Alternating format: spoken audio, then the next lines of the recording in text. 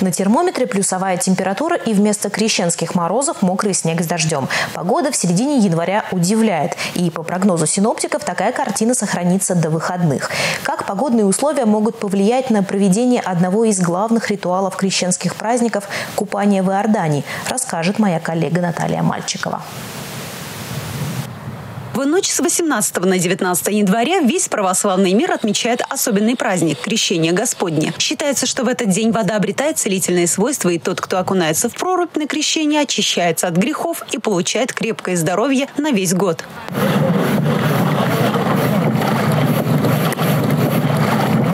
Но в этом году погода особенно капризна. Ожидаем ежедневно небольшие осадки в виде мороси, дождя, мокрого снега, снега. И температуры воздуха будут ночью 0 минус 5, а днем от минус 3 до плюс 2. Толщина ледяного покрова на Чебоксарском водохранилище вот именно в пунктах нашего наблюдения составляет 20-25 сантиметров, на реке Сура до 32-37 сантиметров. Тонкий лед тоже добавляет хлопот. Более 70 мест для проведения крещенских мероприятий. Это церкви, монастыри, святые источники, э, в бассейнах. Основная задача по выполнению мероприятий по безопасности людей на водных объектах, это э, будет пропускной режим.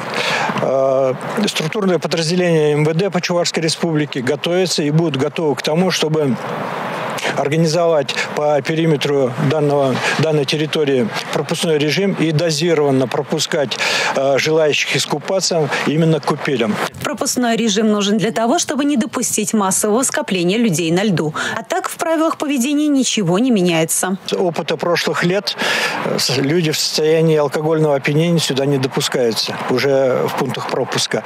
Это раз. Во-вторых, э, готовиться надо уже заранее, выходя из дома. Многие с собой приносят приносят термосы с чаем, э, настойки из трав горячие. В Чебоксарах около Свято-Троицкого монастыря готовы четыре проруби. Их размер минимум 12 квадратных метров. Чтобы в купели могли находиться одновременно несколько человек. Также оборудуют деревянные настилы, если сверху льда вдруг появится вода. В каждом пункте будут дежурить спасатели, врачи и сотрудники полиции. Купаться или нет – дело, конечно, добровольное. Однозначно не рекомендуется нырять в ледяную прорубь с головой тем, кто имеет проблемы проблемы со здоровьем. Если вы все же решились окунуться, к этому надо как следует подготовиться. Будьте здоровы. Наталья Мальчикова, Андрей Спиридонов, Республика.